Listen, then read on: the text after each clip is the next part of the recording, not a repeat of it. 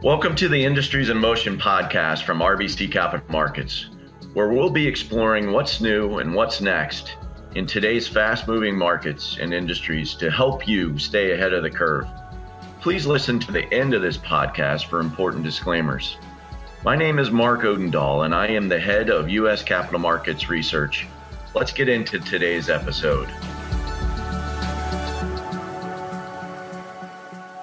I'm joined today by Brad Erickson. Brad is our new internet analyst. He's been here for a few months now and is off to a great start.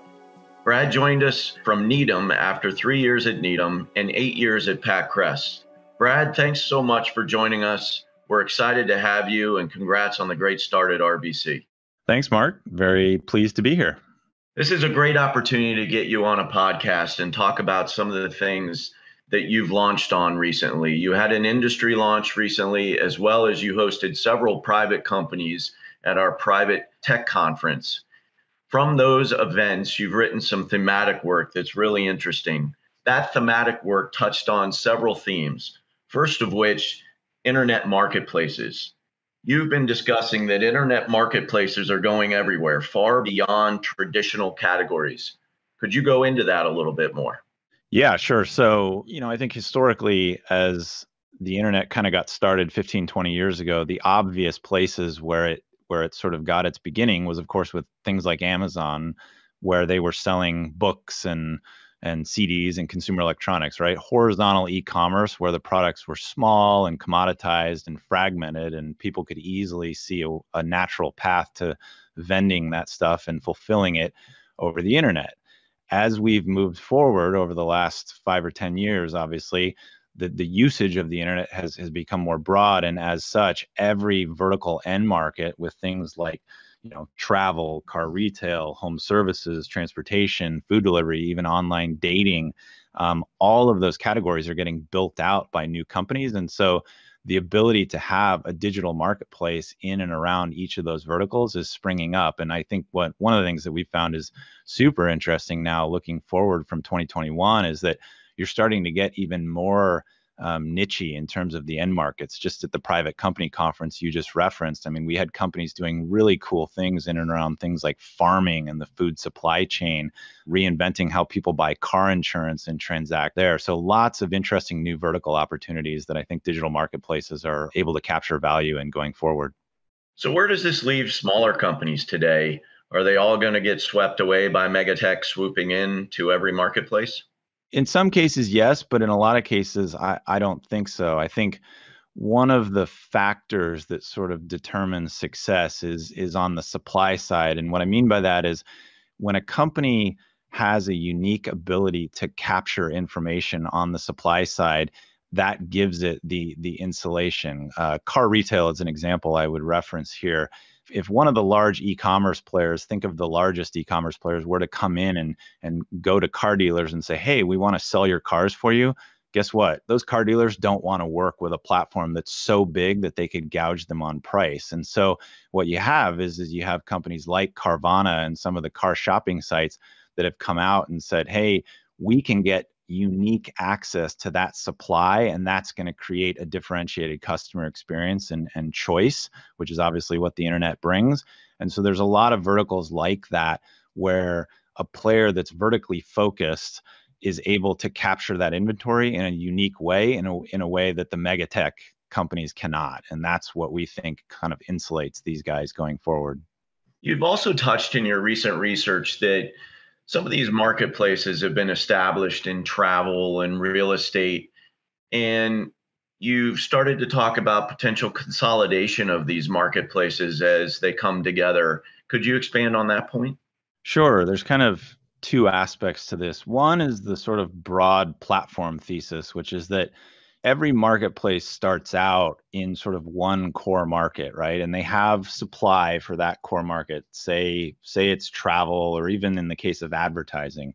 And so they they're able to bring together the two sides of the marketplace supply and demand for that core business. And and theoretically because of network effects often it's a winner take most type situation.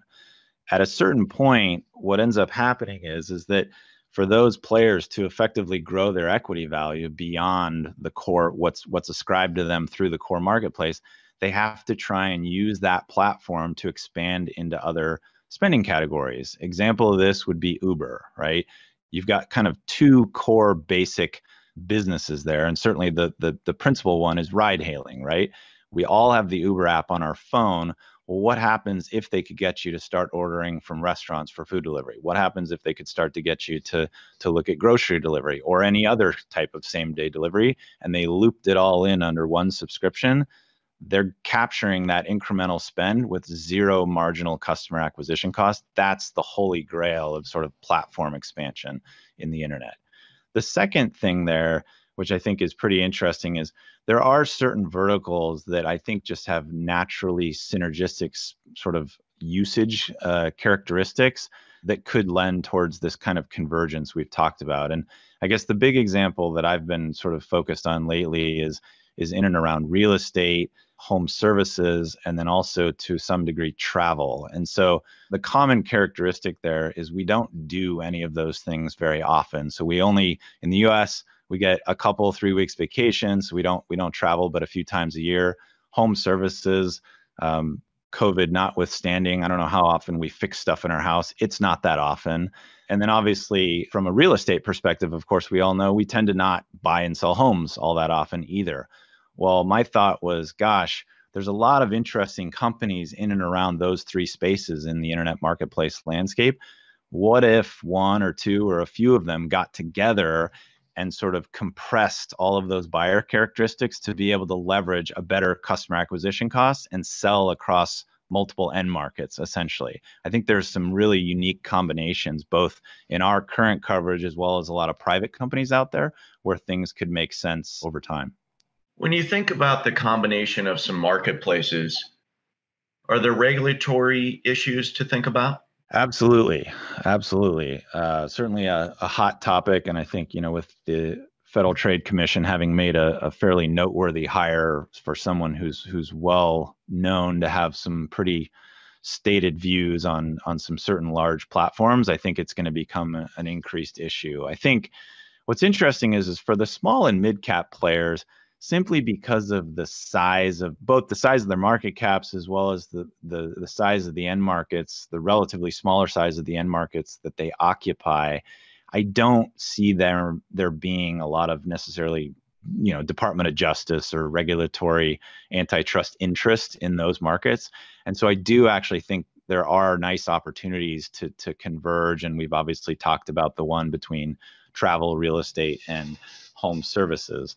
I think what gets really interesting as you move up the value chain and you start to look at the mega cap tech companies, the the four or five or six that people generally think about in that category, absolutely, I think a significant M&A is probably off the table for the foreseeable future. And if anything, I think the direction that, you know, FTC and Washington D.C. in general are looking to head is is that they would like to break up certain parts of those companies. What's even more interesting about that is just the precedent that that would create. I simplify it to the point of something like every business in the world, not every business, but a lot of businesses in the world have profit generating pieces of their business and parts of their business that are either less profitable or in some cases loss making right and so often it's up to the business owner to decide to potentially reallocate some of those profits from the from the profit center to subsidize another part of the business. Essentially what the what the view is from the policies and regulators uh, standpoint seems to be is that they want to remove that capability for some of the largest companies in the world and effectively in, in my opinion sort of turn capitalism on its nose a bit so I think I think they're going down a path that that that maybe they don't fully or haven't quite thought about all of the the potential byproducts of that. But it's going to be I think it's going to make things very challenging on those large cap companies. And one of the other themes that you were talking about out of your initiation and our private event was customer and equity value in security, which is driving funnel migration. Can you explain that theme?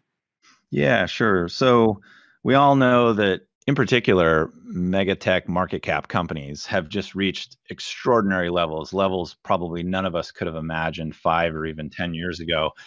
And so with that, while that's been a terrific boon for for investors of those companies, again, you reach a point with the with that core business where it just runs out of runway to to really grow the equity value. And so these companies, the reason I call it market cap insecurity is is if if you're one of those large companies, and I think you can imagine the ones that I'm talking about, the only way to grow is essentially to find other places in that wallet, kind of like that the platform thesis that I was talking about earlier.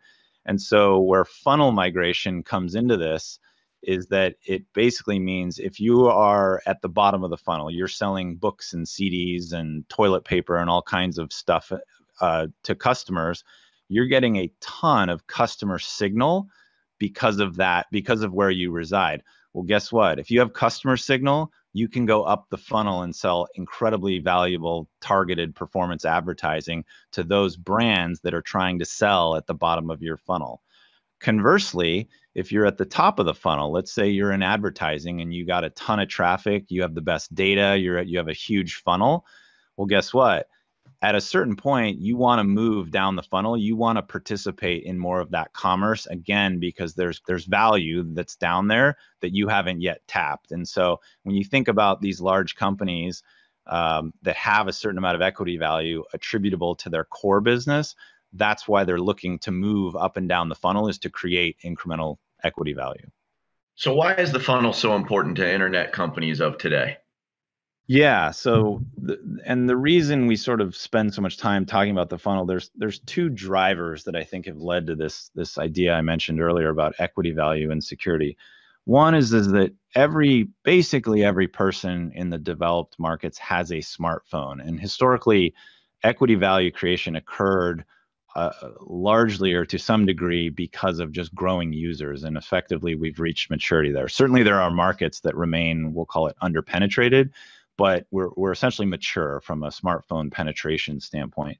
The second thing is, is that with the cost of capital and the success, frankly, of, of the, the venture capital community and private equity over the last, particularly over the last decade, companies, new companies with disruptive models or a really strong value prop, basically have virtually unlimited access to capital which means they can come out and hit on your customer, right? And that's why we get back to that whole idea of you have to dominate customer engagement. You have to dominate the relationship you have with your customer and own that relationship super strongly because otherwise, the next startup that comes into your space is going to have capital necessary to go out and, and try and grab that customer away from you.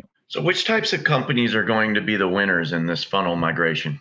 A couple characteristics I think I look for. One is in terms of the top of funnel in particular, you have to dominate the customer engagement, meaning when you don't transact with your customer, naturally you have a less close relationship with your user base, with the traffic that's on your site for whatever reason.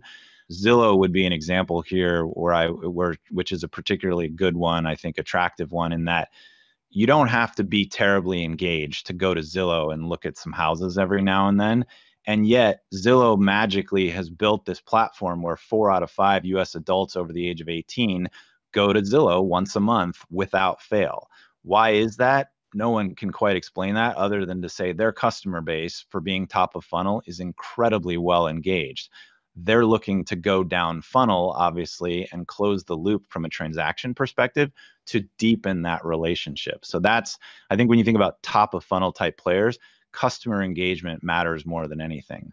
When you think about the bottom of funnel, obviously, the it, it comes down to size. And what I mean by that is if you're looking for that signal right? You again you start with customer engagement but you also need just a size of an audience where you get enough signal where you could potentially translate that back into an advertising business as well. So those are kind of the two characteristics i think about most whether you're at the top or the bottom of the funnel.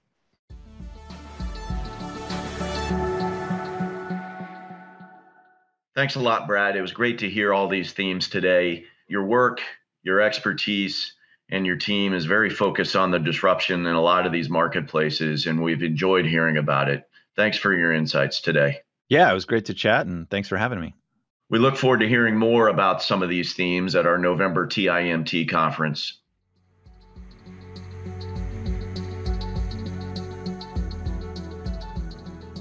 What else lies ahead in today's ever evolving markets and industries? We'll be keeping track right here on Industries in Motion. Until then, thank you for joining us on today's episode. Make sure you subscribe to Industries in Motion wherever you listen to your podcasts. If you'd like to continue this conversation or are interested in more information, please contact your RBC representative directly or visit our website, which is www.rbccm.com backslash industries in motion for more insights. Thank you.